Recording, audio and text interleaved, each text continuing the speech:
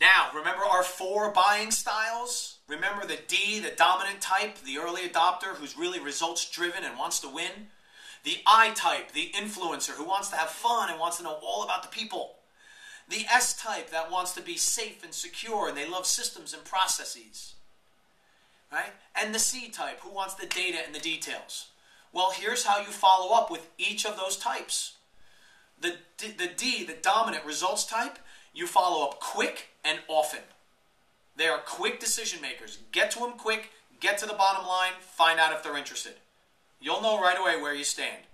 The I type, immediately and emotionally.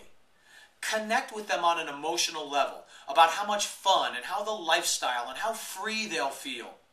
How they're going to have peace of mind and safety and security. And they're going to enjoy the ride. But get with them early, immediately, and emotionally. The S type, systematically, logically, slowly. Every 24 to 48 hours, we have a contact. We meet at least once a meet, uh, once a once a week.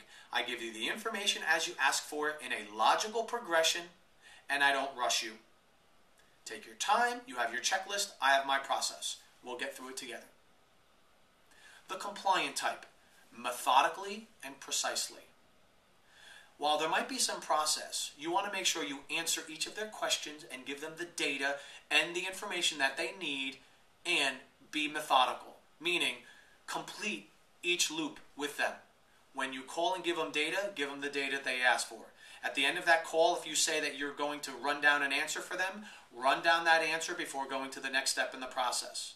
Once, once you've made them whole on that part of the process, then you go to the next part of the process. That's the way you handle a C compliant type, the, the, the detail oriented type.